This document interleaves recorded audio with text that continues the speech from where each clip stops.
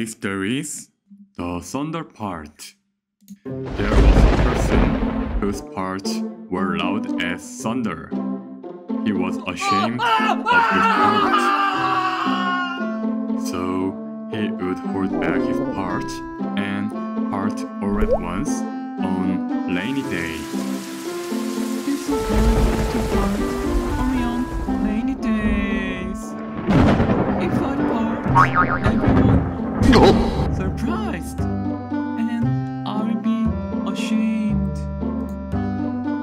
Then one autumn day, the harvest was just a few weeks away because of good farming.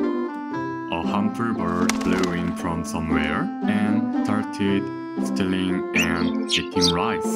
When the rice that everyone worked hard on was gone one by one, the chief became worried.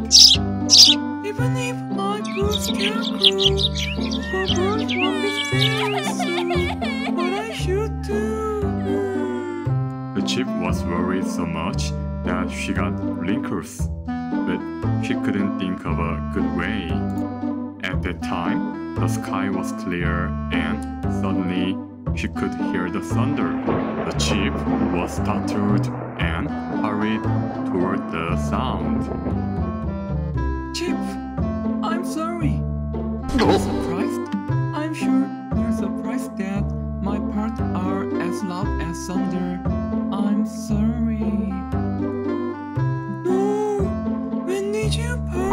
last time? I've never heard of it. Until now, I secretly parted on lane days. What's the matter, Chip? I want keep out the birthday. Don't run away, even if see the scarecrow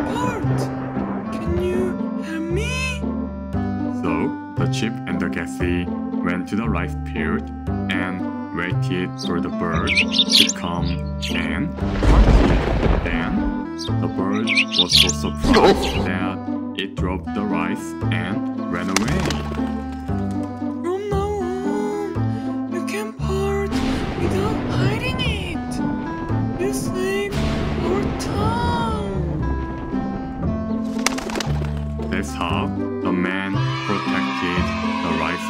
Villagers, and now he parted freely even when the sun rose. Those of you who hear this story might have hiding things because you think it's ashamed. However, things that you feel ashamed of can be of great help to someone.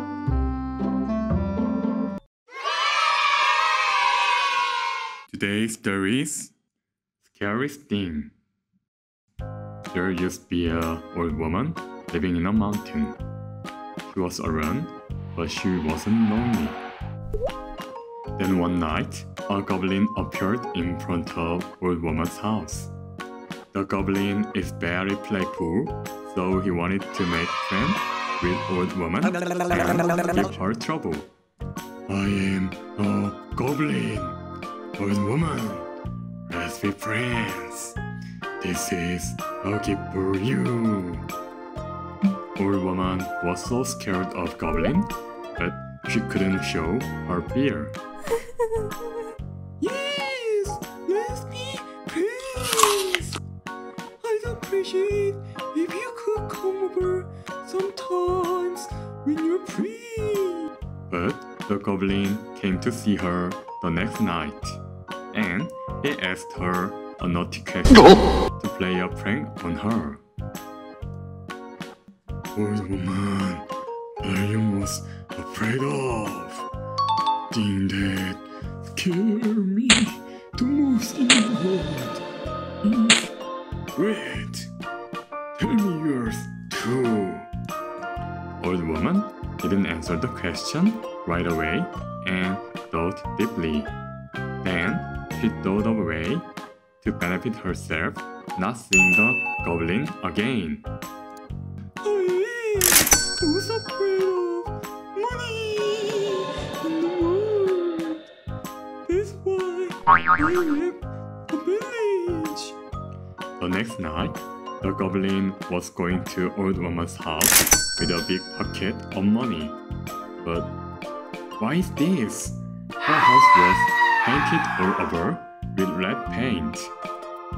The goblin was surprised and angry and drew money bucket in front of old woman's house and ran away. Is it painted? Have been pocket. Oh wait, I haven't seen the goblin again. I feel comfortable and have Thanks to the money the goblin gave her, she became rich and lived comfortably. Those of you who hear this story have some difficult moment in your life. Then, if you think about it slowly, like old woman, you will find the answer that helps you the most.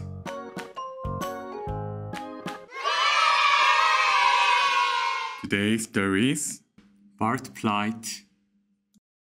Once upon a time, there lived a mother and son in a mountain. They picked up fruits and sold it to the village. But son partied so hard that even though he was old enough to get married, he couldn't get married. So, mom was always worried about her son. Son, please, you stop fighting. Who come to see you run away because of your part. Mom, I don't want to part, But I can help it.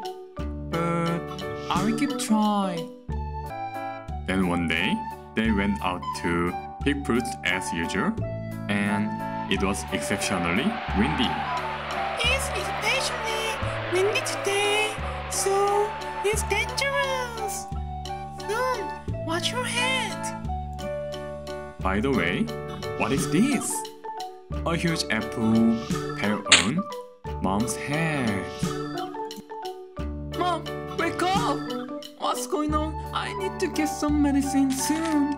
But this is too far from town.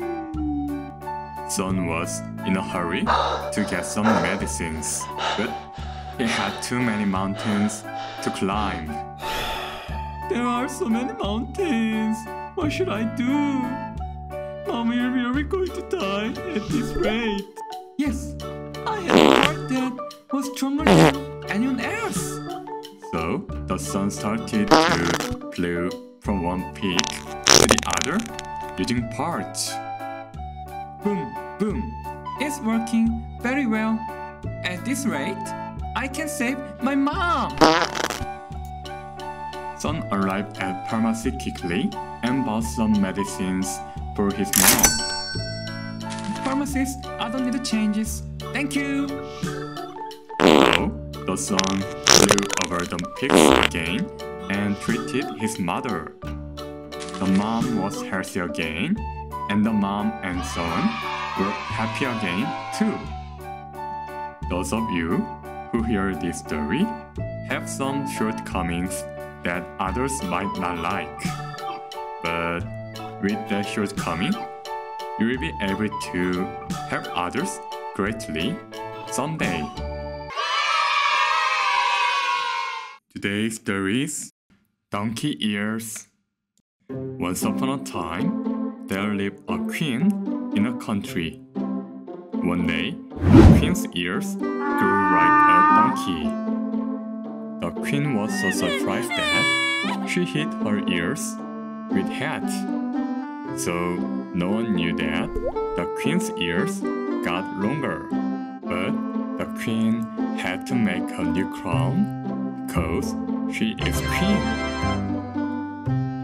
I have to make a crown, but I am so worried that everyone will know that my ears.